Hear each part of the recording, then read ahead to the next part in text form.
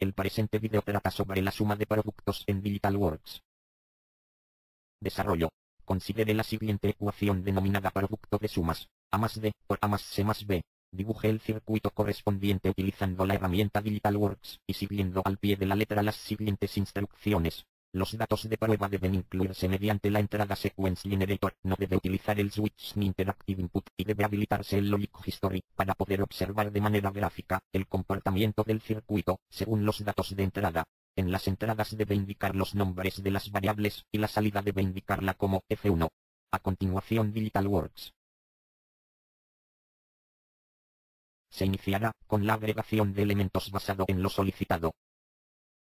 El primer componente agregar Sequence Generator, se da clic sobre el icono y luego clic en alguna parte de la pantalla, al ser cuatro letras, se agregarán cuatro de estos, se tiene dos opciones, la primera es seleccionar el componente dar clic y repetir el ciclo tres veces más, o dar clic sobre el componente agregado, y presionar las teclas Control C Control V hasta que tenga cuatro de los mismos.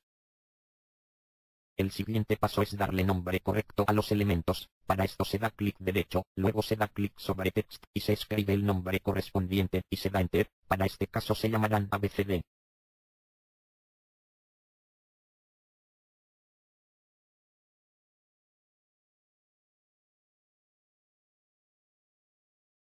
Ahora se procederá a ingresar el valor a cada variable, en el presente caso la secuencia de dígitos, que tendrá cada sequence generator, por lo tanto se necesita de la tabla de verdad, para saber esta secuencia a ingresar, para ingresar la secuencia esta se lee, por columna, de arriba a abajo y se escribe de izquierda a derecha, un dato interesante es, que la variable 4, de se puede ingresar solo un 0, y luego un 1 y dará el mismo resultado, que si repite 7 veces más esta secuencia, en DigitalWorks, para ingresar la secuencia, se da clic sobre el Sequence Generator, luego clic derecho, luego dar clic sobre Edit Sequence, aparecerá una ventana tipo calculadora, por medio del teclado o con el mouse puede ingresar la secuencia de números, un inconveniente es, que no se puede modificar un número antes del último digitado, si da clic sobre Back se borrará el último dígito, un consejo es ser detallista, con lo que digite, otro consejo es, que antes de ingresar una secuencia de ceros y unos debe dar clic sobre Bin.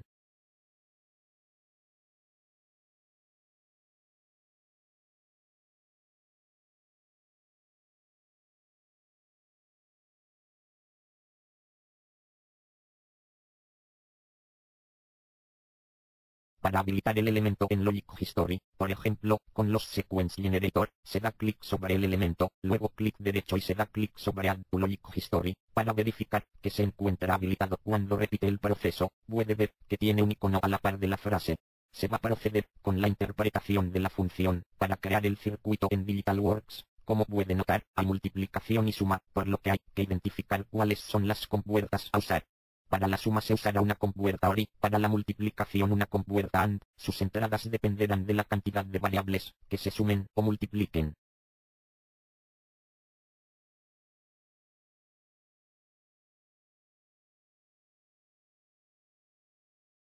Para hacer la conexión se selecciona el elemento que se muestra en pantalla, el Waring Tool aparecerá un icono de forma de lápiz el cual deberá dar clic sobre la línea que sale de A. El Sequence Generator cada vez que de clic creará una línea, puede crear un camino y termina cuando se conecta con una entrada de la compuerta.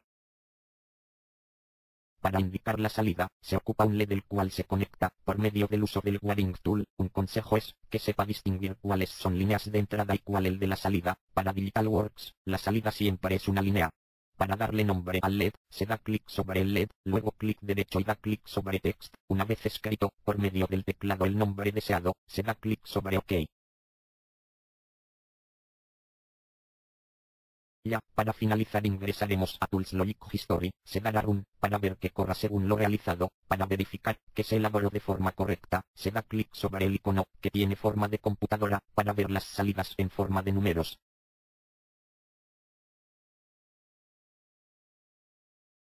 puede observar que por medio de la tabla de verdad si se compara con lo desplegado en Logic History, por ejemplo F1, lo que está encerrado en un rectángulo verde, es igual a lo que se encuentra en la tabla de verdad leyendo de arriba abajo,